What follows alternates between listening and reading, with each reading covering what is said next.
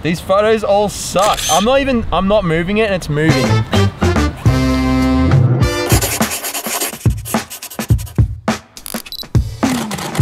I was just sitting around and I was like, what video do I make today? I don't even know what to do. But then my good friend Adam called me and uh, I think he wants to do something. So we might just do something. What will he say? I don't know.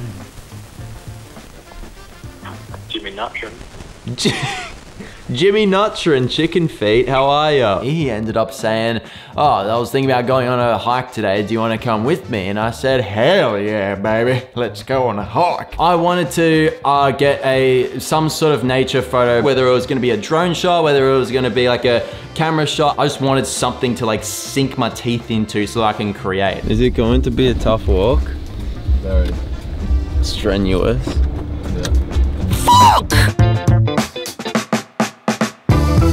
Driving around and everything and the landscape was absolutely beautiful. It was, and I think that the fact that like I've been in my house, this whole self-isolation thing with the coronavirus, I forgot sort of what it was like to go out to a cool location.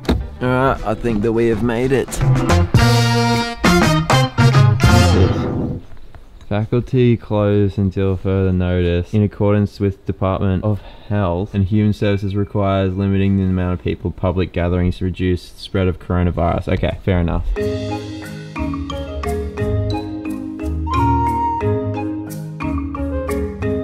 I realized that Adam is wearing all kinds of like gear on his legs. I think they're called gaiters. It stops leeches and stuff and snakes or whatever it may be getting to your legs. And I didn't have any of that. I actually, I just had my normal shoes. You know that awkward gap when you have short socks with like long pants and it's just like there's a little bit of skin showing? That was my legs. That Those were my legs. That wasn't ideal because what if a, a snake came out and bit me and like leeches or whatever? For much of the year, the Moonlight Creek track can be muddy and potentially slippery. This track is recommended for experienced and well-prepared walkers only. Yeah, you take me here. And Adam didn't give me any like heads up prior to this saying, oh, you make sure you gotta bring this, make sure you're wearing actual boots rather than runners that have holes in them that can get, if there's any kind of moisture that goes into these shoes, my feet are satched. They're saturated. I get miserable. So it's not ideal. It's just not ideal. Hope that doesn't happen. Oh, yeah. Oh, oh my God. Oh, fight. You're kidding. Yeah, that's, that's really ideal. Yeah, and it starts to rain. It actually can't rain heavy because my camera equipment, oh my God, if my camera gets wet, that it's done for and I don't have any room left in my camera bag. Push off. Thorns are awesome. I didn't know like what kind of animals were out there that could possibly uh, harm us. Adam said that he had a knife just in case. And I'm like, I don't know whether to feel good about that or whether to feel like I'm in danger because he has a knife. So anyway, we just kept walking. Actually, that was a noise. 12 foot bear just bounding towards us. Yeah, it's like. At this point, I realized that I didn't bring any food or drink. When you're hiking, you're walking up stuff, you're walking down stuff. It takes a whole lot of energy because you're like looking where you're going and everything. Ah, What does your body need so you can have energy? It needs fuel. What is fuel? Food, water, I need that. So I didn't have that. I asked him like, is there any way that you like have like a, a bottle of water or anything I could borrow? But he said, no, like I can't let you drink my water, obviously, because of COVID-19. That would just be, he whipped out this foomp thing out of his backpack. So you put water in this and you drink out of this and that's, that's clean water. That would work here. Now I'm not gonna get any disease. Just leech lung. Leech, yeah, leech lungs. Whoa. It's got foam. Does that mean it's poisonous? You better not be lying to me.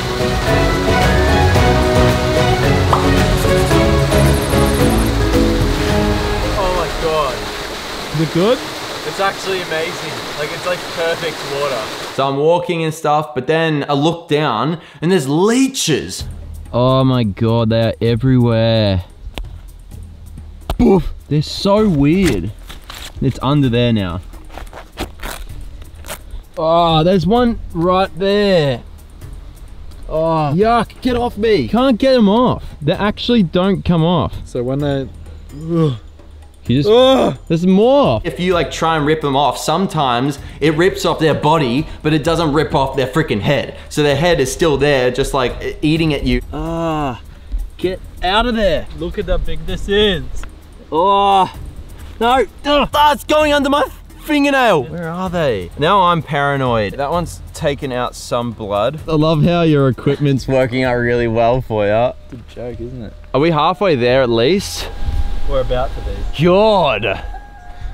This incline's like 40 odd degrees. Still haven't even found close to like a good photo opportunity. My mind's telling me at the moment, like all these things, all these things, like just pause, just have a break. You're hungry, like you shouldn't be in this situation. It's all these like limitations that your mind comes up with. Partly, that's because I'm not too fit. The reason why I'm not too fit is because I haven't presented myself with many opportunities for put for pushing through these limits like this. Not only obviously with this situation makes you physically stronger, it's not about that for me. It's more about pushing through the limits because you're not listening to your mind.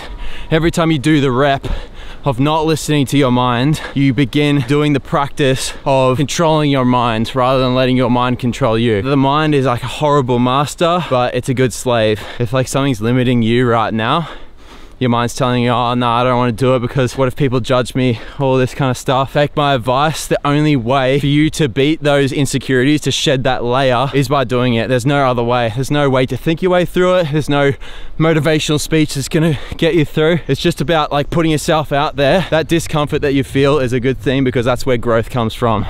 Right now, I'm uncomfortable as shit. I'm probably getting sucked on by a bunch of leechies. That's the discomfort that I'm seeking right now, which is, is good.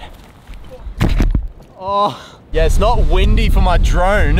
While we've gone through all this treacherous landscape, let's get a bloody drone shot, hey! Oh! it's actually being lifted from the wind. Oh my God. I'm going forward, but it's going right. I don't even know how to do this. Wait, portrait capture. Yeah, it says max motor speed reached. Does that mean it's gonna fly into like fucking Narnia? Oh, that's sick.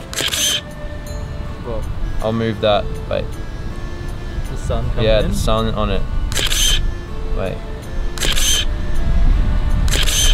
I don't. Is The, that 4K? the composition. yeah, the photos are in 4K. the composition's so shit, but the lighting's cool. Yeah. It keep saying high wind velocity. Was that? What does that mean? No. It means we're fucked. These photos all suck. I'm not even. I'm not moving it, and it's moving. What if I went higher? Would it get less windy if I went? Yeah. What if I did a panning shot? I don't know if like you can go like. So what I'm doing with this panning thing is I'm trying to get like it to look like it's a pastely kind of portrait. Battery level is low. Oh fuck! Fuck. Fuck! In 10 seconds. Alright, we're now it's dead. Now we're gone. Now we're done with. And then it goes straight into my teeth.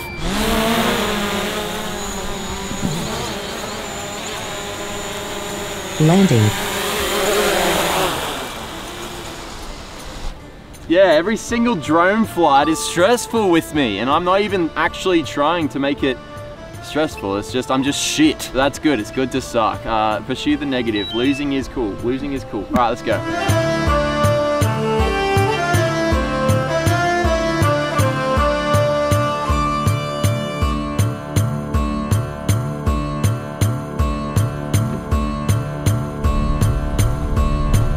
The photos, I I just didn't really like much of them. I did what I did like about some of the photos, the sun that was beaming through the clouds onto the actual hill, I like the contrast of the light and then the sort of like darker tones of the rest of the mountains. There was one of them, it was like sort of a top-down shot. The trees looked like cauliflower a little bit. Apart from that, yeah, I, I didn't really yeah, it's just whatever. And then when I tried doing that spinning thing, it just didn't work at all. Even though the shutter speed was like what, like one over 40th or it was spinning pretty quickly. So I was really confused as to why the photos actually turned out being extremely crisp. I didn't know how that happened. Not even just photo shoots, just life in fucking general just doesn't go to plan all the time. If you take a photo that you're like, damn, This photo is freaking mint. It's mint. I love this photo. Don't raise your expectations to that level. Don't trust that prosperity. Just because you did well in your eyes, right around the corner, whether it be the next shoot or the one after or one after that or whatever, there is a huge pile of shit that's just waiting for you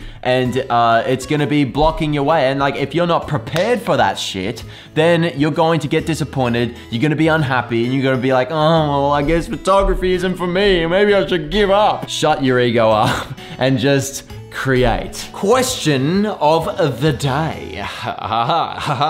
what editing software do you recommend for a beginner in video and photography? If you're just starting out in video and stuff, I would maybe go with iMovie and stuff and see if you like it or whatever. But the best thing you can do is just start off with the software that the pros use as well. So I would say with video, I would use Premiere Pro or Final Cut. With photography, I would use Photoshop or Lightroom because the thing is, if you even just get started with those things, though it can like seem a little bit complicated at first, if you're starting off with those things, you're gonna have the most growth and you're gonna learn the most things about those programs and with editing your videos and photos. So it's best to start with those. That's my opinion. Anyway, that's the end of the video. If you like this video, maybe consider liking and subscribing. It's up to you.